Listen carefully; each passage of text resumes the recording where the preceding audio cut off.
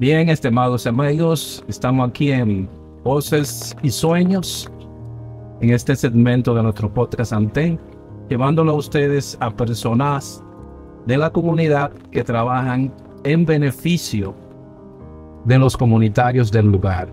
Esas son las personas que debemos y quisiéramos que otro podcast más dé la importancia a esas personas, a esas grandes personas que de forma altruista, de forma humanitaria, quieren hacer el bien por los demás de una forma u otra. Y hoy tenemos a alguien muy especial que se ha dedicado a cuidar de un rebaño, de un rebaño de personas que van en búsqueda de aquello que algunos dicen que no existe, otros dicen que sí existe, pero otros se sienten totalmente confiados en ese ser especial, como usted quiera llamarle, Yahvé, Jesús, como desee llamarle, pero que todo ser humano lo necesita en algún momento de su vida para seguir creciendo.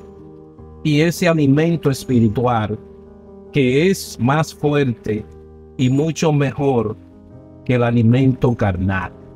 Porque ese llega aquí dentro y nos llena de una forma que no podremos nunca decir lo que se siente, pero es la forma más humana de saberse que estamos vivos. Y hoy tenemos a esa persona que en realidad ayuda a que tú joven, a que tú adulto encuentre ese camino y te mantengas ahí. Tenemos a Rafael, que es parte de esta entrevista y nos dará su experiencia de vida en ese camino tan dificultoso que es el de llevar a las personas por el buen camino de Dios.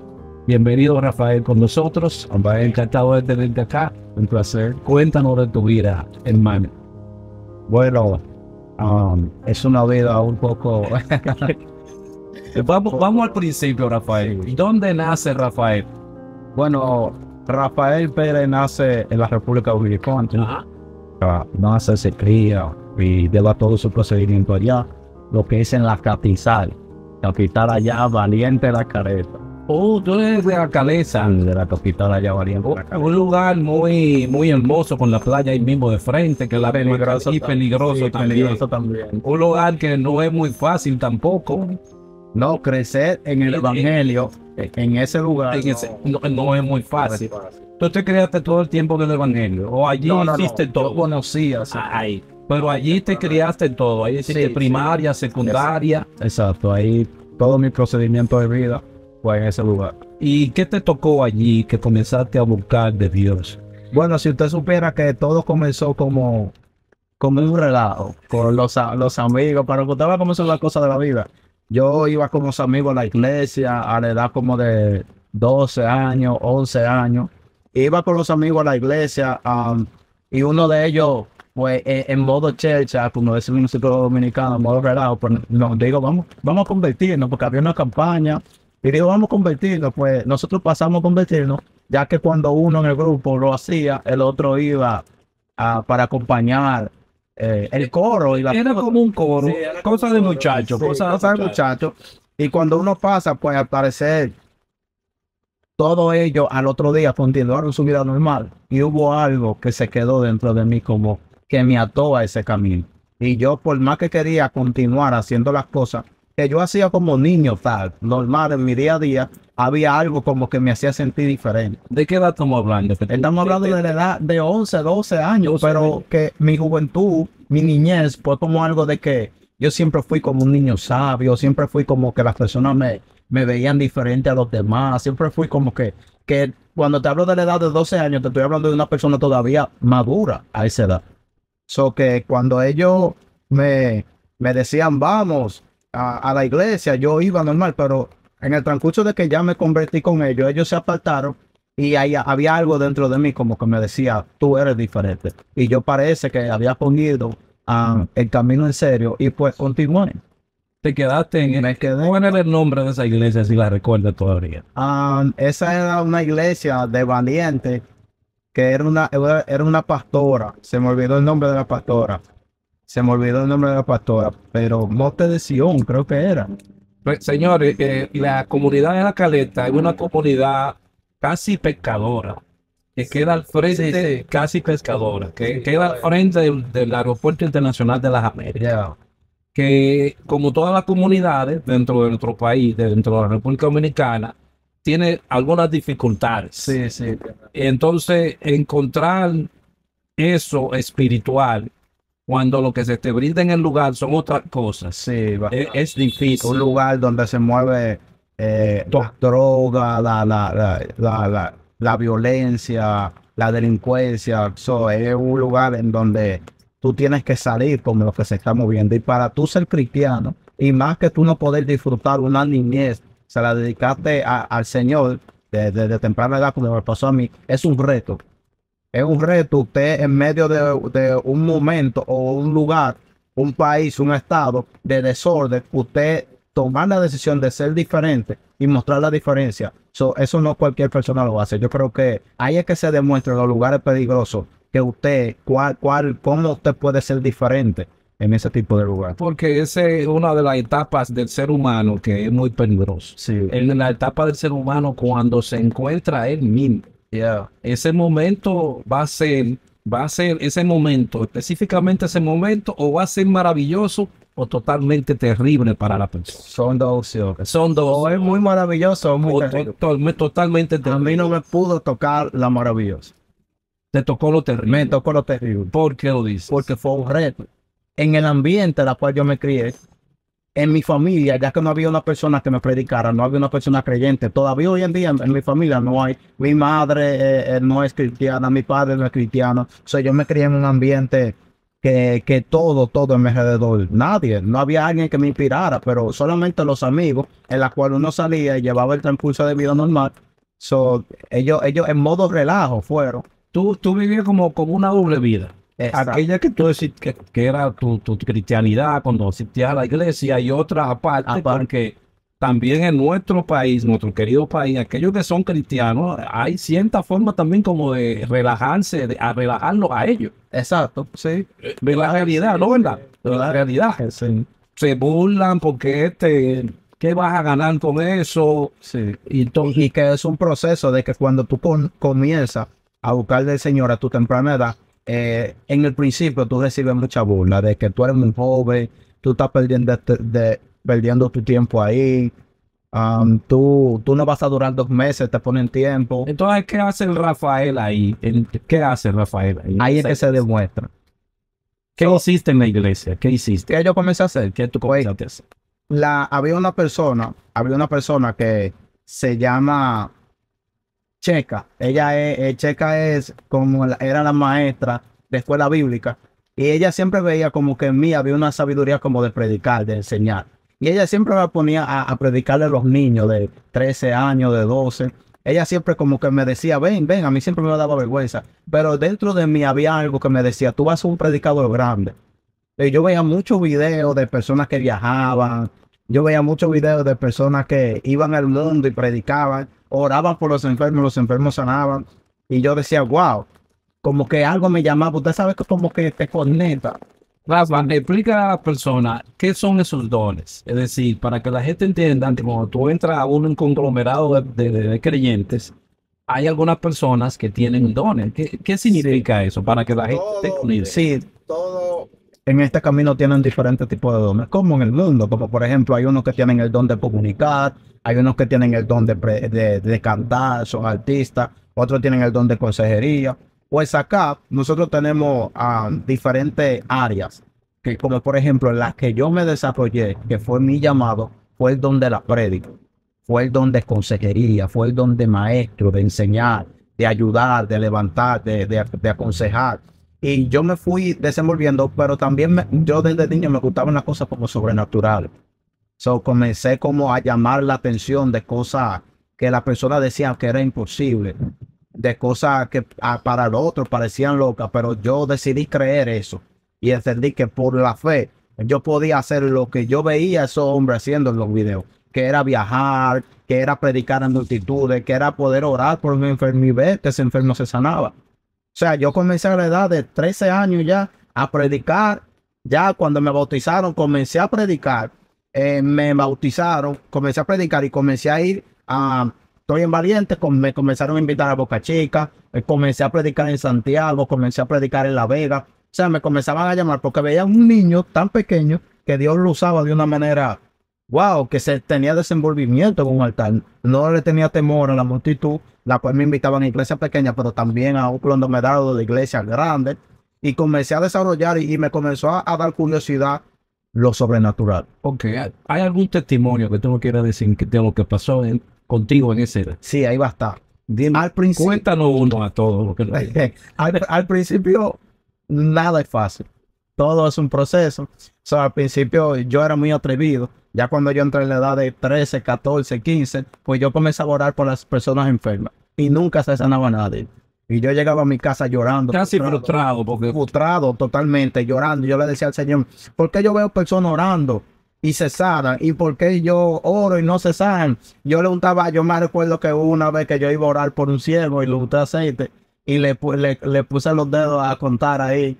Y, y yo le pregunté cuánto es, y el ciego parece que salió más ciego después que yo lo oré. Yo dije, yo dije, yo dije, wow, yo llegué frustrado, y dije, pero señor, pero ¿Por qué, voy a soltar esto, porque si yo te estoy dedicando a mi juventud, porque yo no veo nada.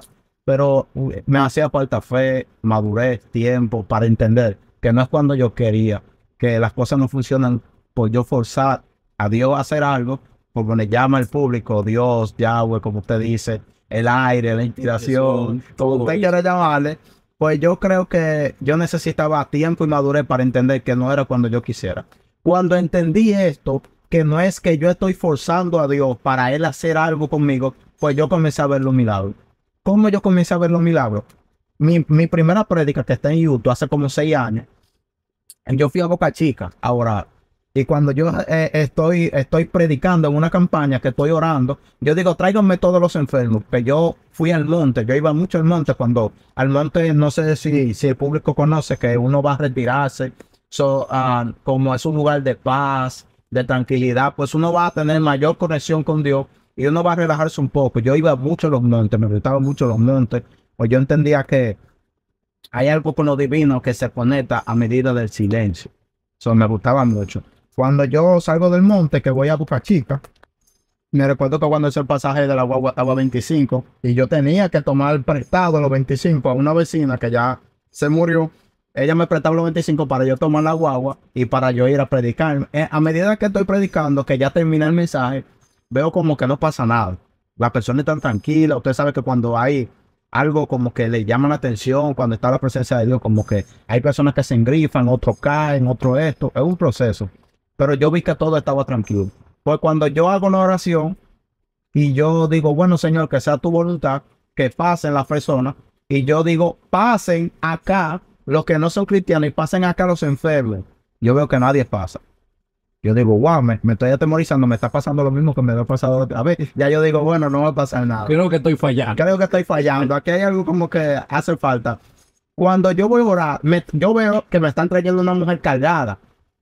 La mujer tiene un lado podrido ahí en el que no lo puede mover. Yo me asusté. Yo como niño, como, como niño me asusté. Yo teniendo una edad como de 15 años, 16 ya, en esa prédica. Yo me asusté. Yo dije, bueno, yo quería orar por los enfermos, pero no por los enfermos tan enfermos. So, yo quería, yo quería orar por los pero tampoco un dolor de Sí, cabeza. un dolor de cabeza, un dolor de muela, cosas que uno orara y le recomendaron una pastilla y, y se le fuera, por fe. La enfermía como que ahí cuando Ah, esa como que mujer, una sí, como yo dije, bueno, yo dije, bueno, pues cuando me trae la mujer enferma, yo, estamos aquí, ya que vamos a hacer. Vamos a orar. Vamos a orar. Y cuando digo, suéltame la mujer, ellos me miran, ¿cómo así que suelta la mujer si se, se va a caer? Pues cuando la suelta, la mujer tiene como una muletica, ella está tan cargada, pero ella casi lo puede aficar porque lo tiene como podrido.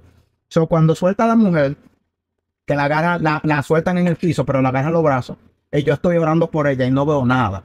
Estoy orando por ella y no veo nada, no veo nada. A veces uno tiene visiones, a veces Dios trata contigo y no pasa nada. So, cuando estoy orando por la mujer, que yo le digo, ahora suéltala. Pues se da el caso que yo orando y le, y le hago así en el pie, como orando por ella, y cuando la suelta, pues la mujer comienza a brincar. La gente se queda como, wow. Ese fue mi primer milagro visible que yo vi con una persona con un pie podrido que la trajeron cargada que no podía, no podía ni afincar el pie. Y en So- ese momento tú sentiste algo dentro de ti o so- Sí, fue algo como que me visitó un poder, pero eso pasó cuando yo entendí que no era mi manera y no era mi tiempo.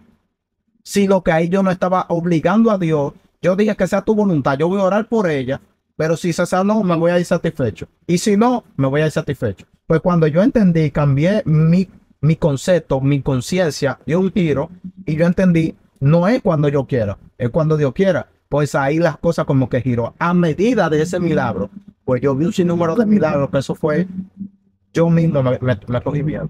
¿Cuánto seguiste viajando? Santiago, ¿a cuáles más sitios Santiago? La Vega, pues yo, yo fui a La Vega y allá yo estuve ministrando en una, un día antes de yo ministrar, ya como a la edad de 17 años, un día antes de yo, de yo ministrar, Dios me había mostrado un sueño una bruja que fue a esa iglesia a echar un agua. Cuando Dios me muestra y yo voy a la iglesia el otro día a predicar, pues yo digo, aquí en el barrio hay una bruja.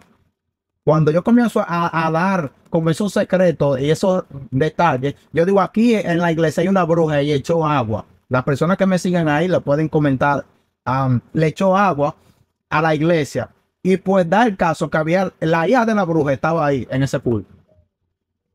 La hija de la bruja estaba ahí en ese culto. Y cuando yo estoy reprendiendo a la bruja y digo, todos levanten su mano y vamos a orar para que toda brujería, toda hechicería se quebrante y toda cadena se rompa, pues la mujer, la muchacha comenzó a chillar, comenzó a llorar. Suéltame, déjame tranquilo, no comiences, no me hagas esto, por favor. Y la tuvieron que agarrar porque la mujer me quería volar de encima. So, a partir de ahí, las cosas que yo vi, yo dije, wow, eh, esto, esto es por fe. Eh, eh, todo el que ve esto, todo el que no cree porque no ha visto todo esto que está pasando. So, fueron, fueron muchas cosas en mi niñez que ¿Te dedicaste solamente al evangelio o terminaste la bachiller? Yo esa carrera, terminé, una tem- no, no, no, yo quise tomar una carrera, Ok. pero siempre había algo dentro de mí, que esa voz, yo creo que es Dios, que me decía, tu destino está en la predicación, tu destino está en enseñar, en aconsejar, no en terminar una carrera universitaria. Yo sí terminé el bachiller, pero nunca pude porque siempre estaba predicando. Y un niño de 17, 16 años predicaba en un día hasta cuatro veces y cinco veces. En un culto en la mañana, después me llamaban para un culto de la tarde, luego un culto de la noche. Usted sabe que allá el transcurso de vida es diferente, allá hacen mucho culto, muchas actividades. Y luego del culto de noche, pues amanecer en una vigilia hasta las 6 de la mañana. So, yo era agenda llena, agenda llena, agenda llena. Todo el tiempo. Todo el tiempo, paraba así. Todo el tiempo agenda llena en predica. Y se mantenía viajando. Y se todo, man- te- te mantenía dentro del país. Dentro del país. Mi sueño siempre era tomar un avión. ¿Y cuándo se realizó ese sueño? Bueno, en realidad, cuando yo vine para acá, ya yo estaba apartado. So, lo- el transcurso de yo, de los milagros, me llegó la fama a mi temprana edad. Yo no supe manejar eso. So, al yo volverme famoso en las redes, yo subí un- una, un- una transmisión, un video, me tomaba 10 mil, 12 mil reproducciones, 100 mil, hubo un video que me tomó 200 mil, y todas las personas me invitaban, en todos los flyers, diseño, estaba Rafael ahí. So, al llegarme la fama tan, toda persona halagándome, yo no supe cómo manejar eso y me ofende. Y te afectó. Me afectó bastante. ¿Cómo, cómo te afectó? Me afectó tanto en el orgullo. So, ya yo no quería responder mensajes. Eh, yo les respondía ya cuando yo quisiera a las personas. Yo humillaba a las personas de una manera de que yo no le tomaba invitación a todo el mundo. Ya yo comencé a ser exclusivo. So, por eso que es, hay un dicho que dice que la fama no es para todo el mundo. ¿Y cómo te afectó esa parte entonces? ¿Qué, qué pasó en cuando ya tú te- La- te, te retiras de la, eh, de, de la espiritualidad y entras de nuevo a lo, a lo carnal? ¿Y ¿Qué hiciste en ese etapa? Yo en realidad me aparté por ese, por esa cosa, por, por la, yo no le echo la culpa, son cosas que tienen que pasar, pero en realidad la fama me afectó mucho.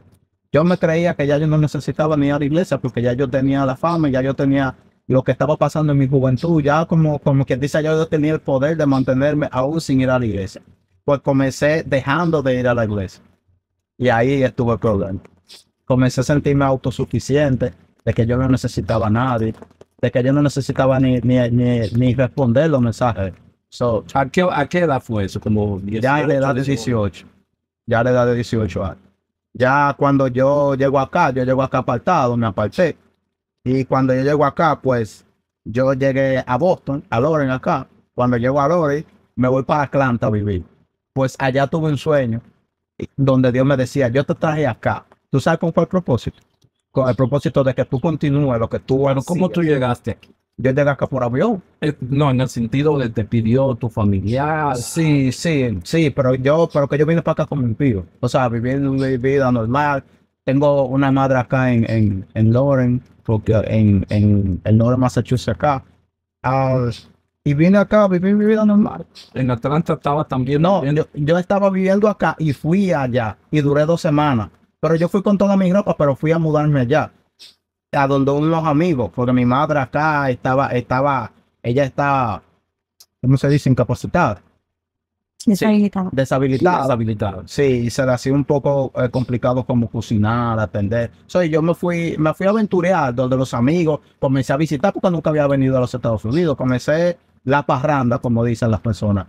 Pero cuando yo estoy allá, que tengo una semana, iba a comenzar un trabajo, en el trabajo se me pone como un poco difícil.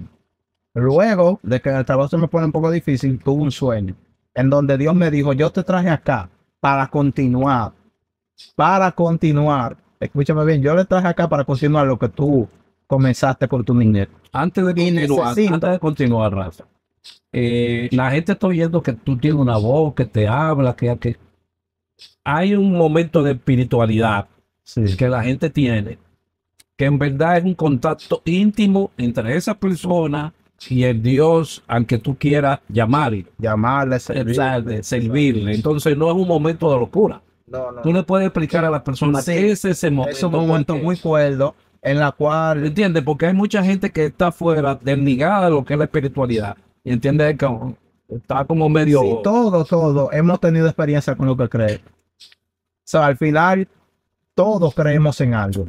Exactamente. Y el hecho de que nosotros ignoremos algo no significa que no existe.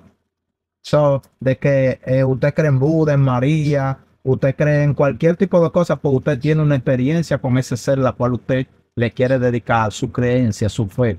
Pues en todo, usted puede creer en una piedra. Y si usted se conecta con esa piedra, usted siente que esa piedra le habla por la fe que usted le tiene a esa piedra. So, se respeta la diferencia de creencia. Claro. Y, pero yo, en este caso, la experiencia con mi Dios, pues él trataba conmigo y me hablaba a través de sueños, a través de eh, estando acá, veía visiones. Son cosas que ah, son cosas difíciles en realidad de explicar, pero sí tenía mi experiencia. Son más, es esa conexión. esa conexión, esa fe que usted le pone, esa dedicación que usted le pone a ese ser la cual usted quiere creer. Exacto. Sí, y cuando yo estoy en Atlanta, que yo tuve ese sueño donde esa voz me dijo, regresa para Loren porque no te quiero acá en Atlanta, te quiero para Loren, te quiero acá en Loren. Y yo dije, Señor, no, porque que la vida de prédica tan joven me hizo, me hizo daño porque comencé proceso, comencé persecución y yo no quiero volver a eso, yo quiero vivir mi juventud normal porque estoy joven. Estoy joven y esa voz yo estaba haciendo como, como decimos los dominicanos malcriados, porque no quería volver para Loren. So, al transcurso de dos semanas, pues yo sí obedecí. Yo le puse una señal al Señor. Yo le puse, mira, si esta persona me compra el boleto para yo regresar para atrás, yo no voy a poner de mi dinero. Yo quiero que esa persona le puse hasta nombre en la oración. A las 3 de la mañana me levanté y oré. Y yo no quería volver al evangelio, no quería saber de esto porque me, yo sentía que la fama hasta, hasta poco tiempo, yo quería ya crecer y experimentar.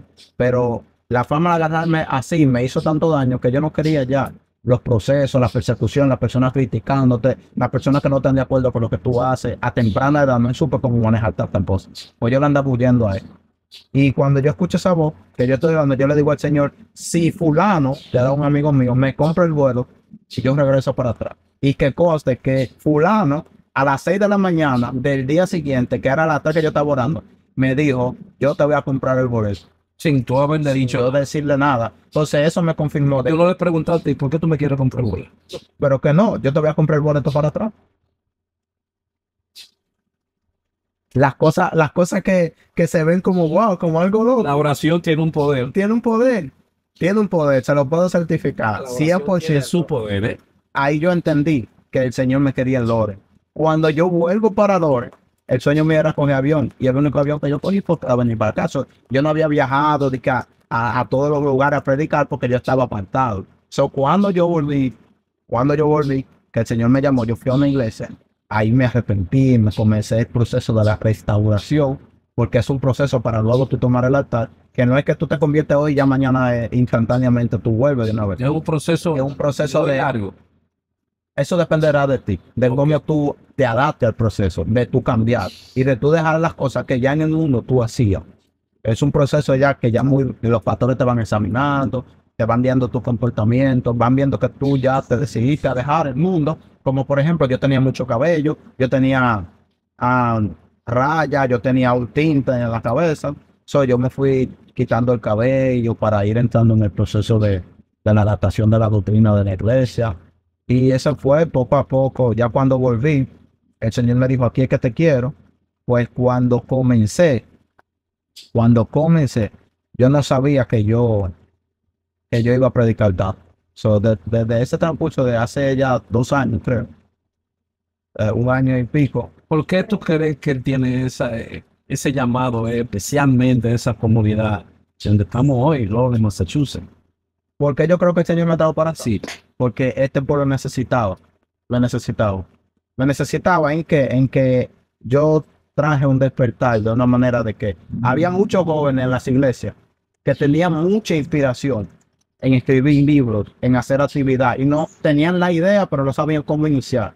Y cuando entro yo, una persona muy movida, muy de actividad, muy de cosas, pues ellos como que se inspiraron, me vieron como ejemplo y se inspiraron de una manera envidiosa o de una manera favorable, pero se inspiraron.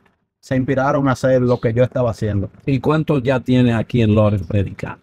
Predicando yo tengo un año y pico. Sí, dos años, dos años. sí, sí. Dos. Ya predicando, pero he pisado. O sea, en el transcurso de que yo conocí a mi esposa, porque yo me casé acá en Loren, eso fue una, una, una de las bendiciones que Dios, ya cuando ya, Trabajo por agregar. Sí, sí, ahí yo entendí, yo dije, valió la pena venir a Loren, porque acá conocí a mi esposa, ten- tengo una familia ahí, y comencé a predicar con mi esposa, comencé a tomar aviones, ya no comencé a viajar yo. Es difícil así, en pareja. Es un poco difícil porque yo no sé si, si la comunidad sabe que los pastores te pagan los vuelos. Sea, no es lo mismo pagarme un vuelo a mí y un hotel que pagarnos a los dos. ¿Usted me entiende? O recibirnos a los dos y atendernos a los dos, llevarnos, ellos nos llevan al restaurante a comer, pues nos atienden muy bien. Pero explícale también, porque mucha gente cree como que, ¿y ¿por qué le pagan los vuelos? ¿Por, por qué tiene que pagarle todo eso? Explícale a la gente el por qué, porque Es como, entiendes. es como una forma de honra. Es- Aquí, aquí en este mundo se conoce lo que es la honra. Eh, en aquel tiempo se honraba a los hombres de Dios que, un ejemplo, por un consejo, por una profecía, por una palabra, ellos le llevaban un estimado, sea en comida, sea en ofrenda, sea en animales, que en ese tiempo se utilizaba. Pues en este tiempo los pastores te ayudan. No en todos los casos se dan, porque hay casos que hay pastores que no, que no pueden. Pues ahí tú, de tu economía, llegaron muchos momentos en donde la esposa mía tuvo que comprar los vuelos de nosotros.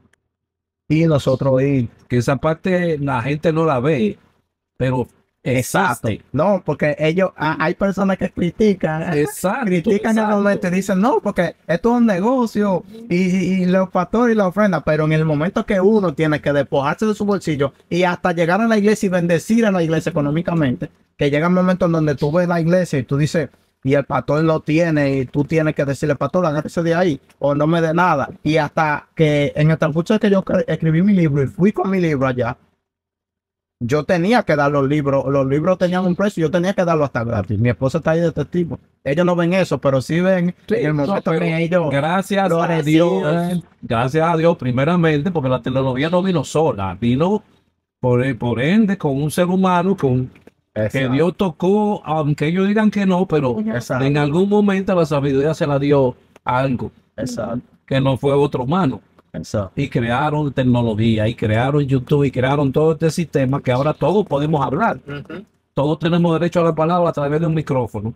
Y ustedes, como parte de esa comunidad creyente, tienen el derecho también. Por eso me, me paro en algunos, en algunos momentos que tú hablas, me pagan esto, sí, pero explica por qué. Sí, es como. Porque la gente va a decir, oye, oye, oye, lo que están- es como símbolo, sí, es como un símbolo de agradecimiento de que yo vine de otro estado a darle, a, hay personas en la iglesia que el pastor lo tenía, que estaba cansado de darle consejos que se iban a ahorcar, que estaban en depresión. Y cuando viene un predicador, le dice, tú que estabas en depresión, Dios me habló en un sueño ayer, o yo sentí de parte de Dios decirte que no te mate. Pues el pastor dice, me le está salvando la vida, pues tengo que buscar una manera de, de ayudar a ese varón que dejó a veces uno deja a los niños, nosotros tenemos niños, tres niños, pues uno deja a los niños acá, acá en Loren para ir a Atlanta, para ir a Georgia, para ir a Miami, y ellos dicen, déjame ayudarle con algo. es como una forma como de tú honrar que ese varón está dejando a su familia un momento en donde puede estar compartiendo y viene para acá a inspirarte a la iglesia de que hay muchas personas con ideas simplemente que se quedan en ideas y necesitan un empuje, pues ahí ellos se sienten como agradecidos y ellos mismos de manera, de manera abierta. No es que tú vas y le pones un precio y le dices, tienen que darme tanto. No, no, no. Ellos mismos de manera abierta, ellos pues te dan un presente. ¿Y qué más hace una iglesia en la comunidad? Además de la predicación y todas esas cosas, ¿hace algún otro, alguna otra labor? Sí, la, sí la, las iglesias, la iglesia llevan comida, le da comida a los necesitados, van a los hospitales a orar por los enfermos y no nos damos a orar por los enfermos. Depende del tiempo, porque la pandemia llevaban muchas mascarillas, llevaban mm. mucha manito limpio. Por las iglesias van a, a las cárceles. Acá es un procedimiento diferente que allá, pero allá yo iba mucho a la cárcel a predicar. Yo prediqué en todas las iglesias de la cárcel de la Victoria. Yo iba mucho a los hospitales. Nosotros íbamos a los campos de personas que no podían salir de ese campo porque los campos estaban muy feos. Pues nosotros íbamos, instalábamos una tarima y le dábamos comida. No le dábamos un culto. No nada más se trata de, una fe, sino que lo ayudábamos terrenalmente, como nosotros utilizamos el concepto, nosotros le dábamos comida, eh, recortábamos, llevábamos equipos de recortar a las personas, llevábamos equipos de, de ropa para los niños que no tenían en esos campos. Eso es un, procedimiento muy bonito, la experiencia que... Otra de las de la, de la partecitas también que la gente tiende mucho a, criticar y a tener su propio concepto es la, la, la parte del 10 del 10. El 10 mil sofrer. Esto, explícalo, explícalo.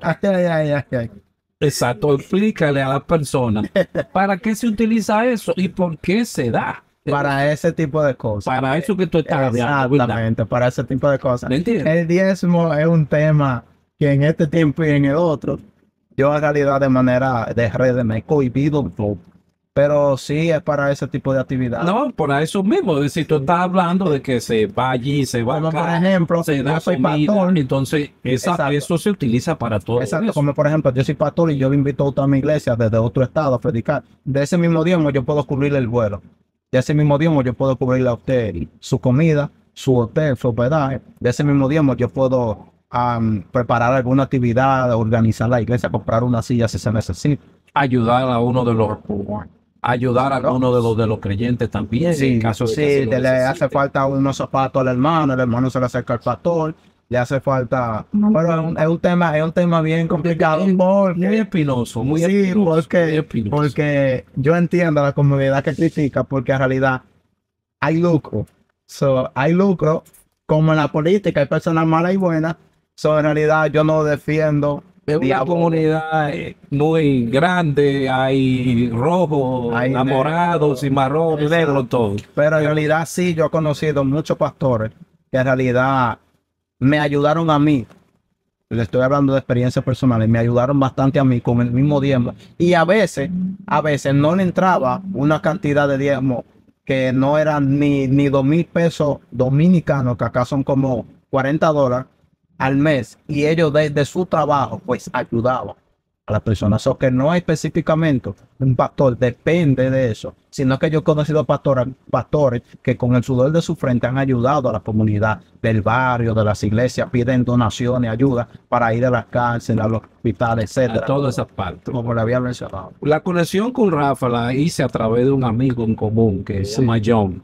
John eh, me pidió que tomara una foto y fui a un, a un lanzamiento, a un lanzamiento de un libro que tú habías creado, sí, a tomar la foto. Háblanos de ese libro, que es este que tenemos acá. ¿Cómo se llama? Juventud con propósito. Ustedes lo pueden ver por acá. O sea, ese ¿De libro, qué trata? ¿De qué trata? Explica. Del, del mismo tema.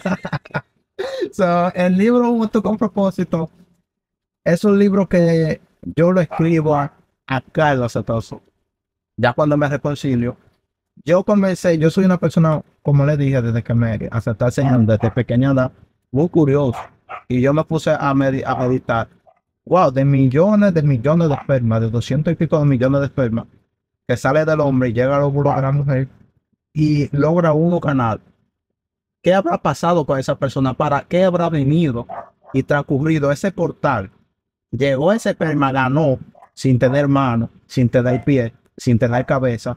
Llegó sin tener fuerza de voluntad, llegó. ¿Para qué llegó? Yo necesito saber cuál es el propósito de las personas que trascienden a esta realidad.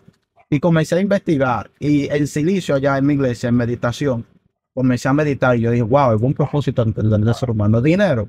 Tú puedes tener, tu, tu meta puede ser 2 millones de dólares y cuando lo tienes, no te sacia.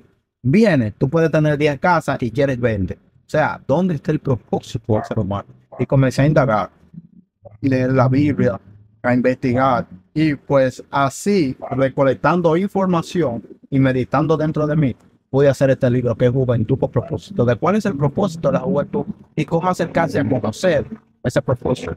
que, que muchos de los jóvenes ahora a través creen que el propósito es alcohol, que el propósito es discoteca, que pro- hay diversión, ok. Exacto. Eso es Totalmente, diversión, te mantiene entretenido. te mantiene Incluso de- luego de, de, de tu alcoholizarte, pues ya es momentáneo. Por eso fue que Salomón dijo, vanidad de vanidades. Exacto. Al final lo probé todo y me di cuenta que todo es pasajero. ¿Cuál es mi propósito? Yo me hacía esa pregunta. Eso mismo, porque muchos jóvenes se mantienen en esa, en ese, En esa diversión. en esa diversión, en ese, claro, para el momento de esa juventud entienden que no es un vacío. Pero después cuando llegan más un poquito más de No, no, no. Cuando desde luego del acto, exacto, luego del acto se encuentra como que, ¿qué hice? ¿dónde estoy? ¿Dónde ¿Hacia voy? ¿Qué voy? estoy haciendo? ¿Qué estoy ¿Qué me haciendo? pasa? So ahí yo dije, tengo que darle solución a los jóvenes de esta generación. Que Rafa, Rafael también pasó por ahí. Yo pasé por ahí. Yo, yo pasé por ahí, Claro, todos pasamos por ahí. Sí. Pero encontrarte ahora una persona como Rafa que haya escrito algo para guiar Darle joven como los que están ahora mismo también en ese momento, que le guíe, que le que diga, le dé la solución Que le de la pregunta que ellos se hacen en el momento de luego del alcohol, ¿qué me está pasando? La solución. Luego de yo acostarme con 10 mujeres, me pregunto qué me está pasando, la solución. Y eso era lo que yo necesitaba. ¿dónde pueden ellos encontrar el libro? El libro ahora mismo tuvo un problemita con Amazon. So, el libro lo estamos distribuyendo de manera física. Los enviamos a donde la persona lo, lo necesite. Juventud con propósito. El próximo Pero ¿cómo se pueden comunicar contigo para que entonces tú le hagas se llegar? puede comunicar conmigo a través de las redes sociales. Rafael Pérez 07 en mi Instagram. Rafael Pérez en mi Facebook. ah, y mi WhatsApp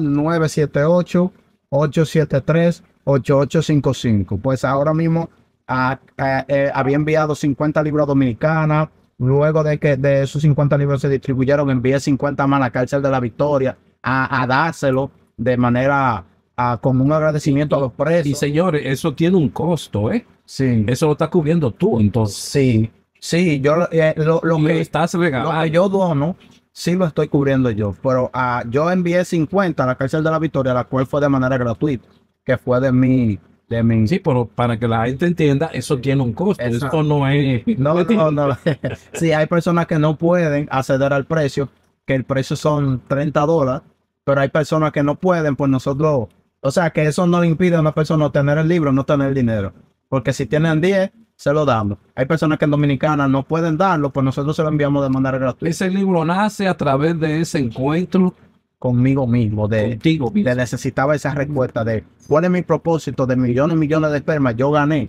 Yo llegué a la ¿Qué tierra. tiempo te tomó escribir? Ese tiempo fue como algo crucial, como de tres meses. Donde tú escribías un poquito, retomar. Era algo continuo, era algo como encontrándome a mí. Amanecía en la iglesia, amanecía despierto, leyendo la Biblia, meditando. Y eso fue algo, algo hermoso, pero también sacrificio. Porque no es lo mismo que yo agarro un libro y busque la información en Google, que algo que tú mismo te responda o que la palabra de Dios, la cual es a lo que nosotros le dedicamos la fe, pues te traiga la respuesta. Es grande, por eso es que queremos llevar estos tipos de personas al, a que la- a- porque nuestro, nuestra web está llena de muchas cosas. Sí. Lamentablemente. de muchas cosas, de demasiado diríamos. Pero si usted tiene la opción de elegir una fruta, elíjala. Exacto. Pero también nosotros como personas debemos también de plantar la fruta, Exacto. Porque entonces no, no nos podemos nada más quejar. Y este podcast es parte de eso. Porque, señores, tuvimos que ir a un lugar que estaba cerrado. Cuando llegamos a otro sitio estaba lloviendo. Eso fue un proceso. Rafael llamó a, a una amiga que le prestó este lugar donde estamos grabando. Eso fue Y un proceso. fue todo un proceso. Para que hoy el público pueda escuchar. Exacto, para que hoy puedan ver que sí, que hay gente sana, buena, que está haciendo una labor Y que se puede en medio de un mundo corrupto, la cual para muchos no hay esperanza, pero yo siempre digo que el mundo no se empieza cambiando los demás, sino cambiándote a ti mismo. Y si tú quieres cambiar el mundo, pues puede comenzar contigo. Exacto, y ahí el podcast y las acciones que uno haga con esto Contribuye. contribuyen a esos cambios. Contribuyen en bien o en mal. O en bien o en mal. Estamos tratando de que sea en bien, Exacto. porque hay muchos que también están contribuyendo al mal. A Pero través de se puede, se se puede. puede. Ojalá que muchos más de la comunidad de Rafael quieran hablar y estamos a la disposición. Sí. a cualquiera que quiera hablar, porque me dijiste que hay más jóvenes que han creado libros también. Sí, yo he sido, yo he sido. Y sería bueno que te acercaras a la biblioteca de los. Sí, sí, Yo vamos. puedo, yo puedo hablar con la directora para que entonces también lleve. lleve Sí, lo, lo- lo vamos a, te- a- a tener ahí en la biblioteca ese de Loren. libro. Ellos te lo persona- compran, ellos te lo compran. Sí, cualquier persona tamba- también de acá de Loren que quiera acercarse a la biblioteca estará pronto disponible en la biblioteca allá. Ya usted se comprometió aquí en Cabo. Eh, Sí, sí, no, no, no, claro. Eso yo hablaré con la directora, con Chanel Abreu, para que ustedes tengan la reunión y expres- expresarles que ahora lo que estamos haciendo es que las personas, los escritores de la comunidad, puedan, nosotros hacemos este, este podcast y porque tenemos, yo trabajo también con el podcast de la biblioteca. Entonces subimos esta entrevista al podcast de la biblioteca y ahí entonces ya la gente ve que hay un libro y puedan ir a tomarlo prestado, porque se toma prestado y así usted no tiene, si no tiene el dinero para comprarlo, entonces por lo menos tenga la adquisición de una tarjeta de biblioteca que es totalmente gratis y pueda acceder al libro. No, y que yo le visto que si usted ha probado todo y usted se siente como en la misma rutina, lea el, lea el libro. Porque no es casualidad que nosotros de millones de espermas llegamos a este mundo a trabajar, a conseguir una casa, un carro, una familia y ya. O sea, es algo como extraño, es algo como que debería de despertarte la curiosidad de aquello vino este mundo que me trajeron. Ok, chocaron dos bolas, un Big Bang, buff, llegó la Tierra, vinieron dos monos, evolucionaron y estoy aquí. Pero. O sea, de- tu creencia es que tú viniste de un mono, te la respetamos, pero ok, todo se paró ahí. Evolucionaste, eres un ser humano, vas a trabajar y vive tu vida diaria, continua, lo mismo. ¿A qué tú viniste? Algo que se me pasó era hacerte la pregunta de, de, de ese cambio tan brusco de la caleta, esa comunidad tan pequeña, a llegar aquí a Boston, a Estados Unidos. C- ¿Cómo fue ese, ese impacto para ti en esa época? Eso fue algo extraño porque estando allá en la caleta, yo sentía que yo iba a estar aquí. Era como que algo va a sonar extraño, pero no me sorprendió. Hay personas que dicen, wow, Estados Unidos, Estados Unidos. Pero es como cuando tú tienes una certeza de que tú vas a obtener un vaso. Y ya cuando tienes el vaso, tener el vaso no te sorprende porque ya como que ya tú lo tuviste. Es algo, fue algo extraño. Como que ya tú habías visto, había tenido esa ambición. Ya yo había tenido varios sueños, Ok. varias experiencias de que Dios me dijo que yo iba a venir acá y iba a predicar el mundo entero, iba a predicar en muchos lugares, iba a hacer lo que ya yo estaba haciendo ahora. Es difícil el camino. Sí, va a estar. Porque tienes reto, tienes reto de que hay muchas personas que no van a estar de acuerdo. Como todo lo que te proponen, muchas personas te van a criticar, muchas personas te van a cerrar puertas, van a decir a él no lo invites, no me gusta cómo predica, no me gusta cómo se dedica al Señor, no me gusta cómo trabaja. Y es un reto, la cual tú por encima de todo lo que te digan, tú tienes que resistir y demostrarle a ellos que tu fuerza no depende de ti, sino que viene de, de Dios y continuar. Continuar por encima de las críticas, continuar por encima de que a veces tú tienes que estar desanimado y animar a otra persona. O sea, tú tienes que tomar un micrófono y decirle a este, levántate donde tú te sientes decaído. Eso no es fácil. No es fácil tú sentirte en depresión y decirle al otro, Dios te va a sacar de esa depresión. No es fácil tú tener la nevera vacía y tener que decirle al otro en un altar, pues Dios te va a llenar tu nevera. No es fácil tú no tener inspiración para tú escribir, para tú salir adelante, para tú ir al trabajo y tú decirle al otro, hoy Dios te levanta y te da fuerza para tú salir adelante. Es un reto de tú, aunque te sientas destruido, inspirar al otro y dejarle saber de que ellos no tienen la culpa de lo que te pasa. De que por encima de eso tú puedes inspirarlo y ayudarlo a ellos en la situación que a veces es igual que la tuya, pero que ellos no tienen la culpa. Y ahí tú aprendes. Cuando tú pasas esos procesos, tú aprendes. Tú aprendes mucho, tú maduras mucho y eso te sirve como información para mañana decirle a otro, yo estuve ahí y Dios me ayudó a salir de ahí. Tú puedes. Porque si un ser humano como yo salió de, esa depresión, tú no puedes salir ahora de esa depresión. ¿Qué tú tienes diferente a mí? So, porque yo siendo joven le serví al Señor, le escribí un libro, ando viajando en todos los lugares, predico mucho. ¿Por qué el oyente que está acá? ¿Qué discapacidad, qué diferencia hay si somos todos seres humanos igual? Porque si yo decidí tomar el camino del bien, porque esas personas que nos escuchan no pueden hacer. ¿Dónde se congregan ustedes? Se, se congregan. Nosotros nos congregamos actualmente en la iglesia Cristo Libertador de la S Street, el pastor Manuel Sachs. Okay. Actualmente nos estamos congregando. Para que puedan, para que puedan. Sí, en la iglesia de la S Street Cristo Libertador. a cualquier cosa, si necesitan información de dónde nos congregamos, de nuestro pastor, pues nos pueden escribir al Facebook Rafael Pérez, Instagram Rafael Pérez 07 y allá nos pueden visitar te pido que hagas ese llamado, ese llamado espiritual a esa, a esa, a esa, a esa gran comunidad florenciana que hoy tal vez no vean cinco, tal vez no vean diez, tal vez no vean veinte, porque quizá alguno de ellos, a través de ese llamado que tú le hagas hoy, sea tocado. Y en verdad, busque el camino de ese espiritual. Es como yo le dije, valga la redundancia, si yo pude, usted podrá. Usted ha, hecho de todo y lo ha encontrado como su felicidad. Si usted ha probado de todo y nada le ha funcionado, yo le invito a que pruebe a Dios. O sea, vaya a una iglesia, acérquese, eh, experimente. La vida se trata de experimentar cosas nuevas. Tome la iniciativa de atreverse. Yo no creo en eso. Yo no siento ir. Yo les reto. Es un reto que le estoy poniendo a los oyentes de que vaya a ver si su vida seguirá igual. Si su vida no sigue igual, aunque usted vea muchas personas que su vida no lo ha cambiado, vaya usted y experimente. Si su vida no sigue igual, llámeme. Llámeme, que yo le aseguro que eso no va a pasar. Créame que cuando usted prueba a Dios, su vida le cambia a distante. Se lo digo por experiencia, porque desde mi temprana edad, mi vida me cambió a medida que yo fui a, a una iglesia. Y desde hoy, pues agradezco ese momento, que en modo church, en modo relajo, aunque yo no creía, me acerqué y hasta hoy doy gracias no te arrepiento no, de todo el camino que no me arrepiento para nada. Por encima de los procesos las pruebas las, las malas decisiones eh, eh, el apartarme pues hoy en día yo entiendo todo el proceso que yo tuve que pasar porque hoy en día hoy los consejos que yo le doy a las personas en base a la vivencia que yo tuve. Si no hubiese pasado eso cómo te voy a hablar de un libro la cual tú no sabes si alguien lo vivió o no yo te estoy hablando de mi experiencia de cosas que yo sufrí y te estoy diciendo tú puedes salir de ahí tú puedes. Y al yo contarte mi historia, te vas a sentir identificado y te va a servir de fuerza para tu avanzar. Así mismo, señores, recuerden, Voces y Sueños es un segmento para esa comunidad que así lo necesita. Voces, porque eso es lo que necesitamos, personas que estén dispuestos a hablar. Y sueños, señores, todo empezó por ahí.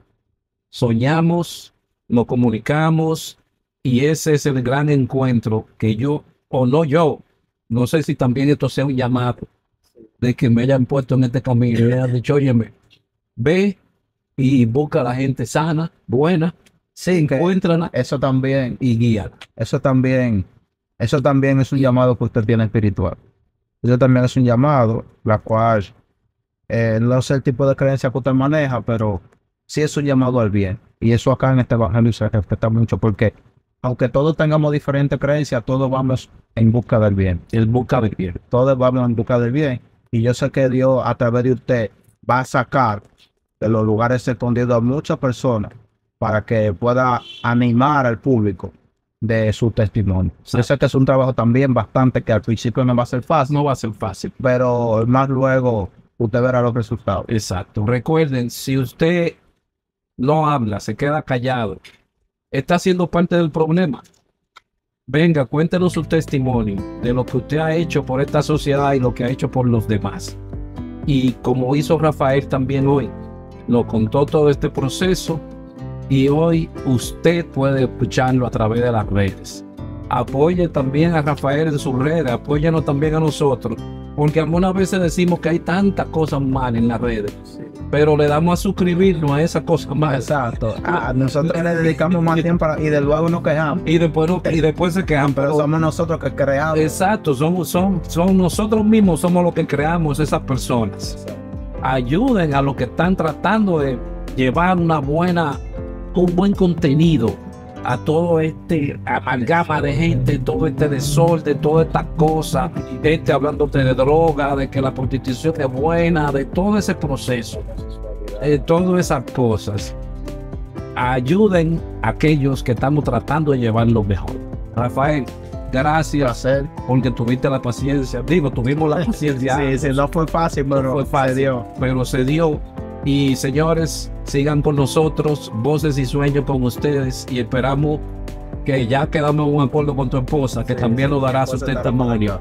Estará por acá también hablando, dando su voz entre este mar de cosas, Sí. pero tratando de eso mismo, de aportar, de no dejar que todo esto nos cubra. Porque como la luz que tenemos ahí, la lámpara que tenemos aquí hoy dándonos, porque hay una oscuridad, tratemos de ser eso. Tratemos de traer luz a esta oscuridad. Y Que- se puede. Y se puede, se puede. El mundo se puede cambiar cambiando, comenzando por Claro, claro. Hubiese sido muy fácil quedarme en mi casa viendo televisión, Exacto. pero Rafa me dijo no a las 5. Allí estaba. Exacto. Y lo tuvimos que mover para acá, nos movimos para acá y fuimos al lugar que decidimos. Porque algo me decía que esta va a ser una entrevista que va a tocar mucha, mucha, mucho corazón. Y así será. Amén. Así será. pues ya ustedes saben entonces. Gracias, Rafa. El líder. Suscríbanse al canal de YouTube, compartan, que yo sé que si a usted lo ayudó, a otras personas también lo puede ayudar. Sí, señor. Gracias y nos veremos en la próxima. Voces y sueños.